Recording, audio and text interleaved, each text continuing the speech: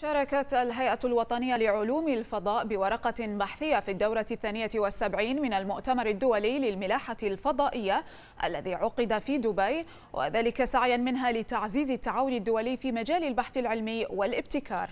الورقة البحثية تمحورت حول ابتكار بحريني في مجال الفضاء.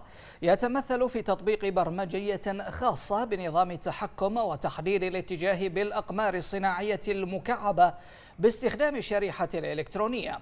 وتتميز الخوارزمية المستخدمة بدقتها العالية في تحديد اتجاه القمر الصناعي وسرعته الدورانية حيث تم تطبيقها على أيدي مهندسي الفضاء من منتسبي الهيئة لزيادة سرعة استجابتها باستخدام خاصية المعالجة بالتوازي مع الحفاظ على مستوى استهلاك طاقة كهربائية منخفضة.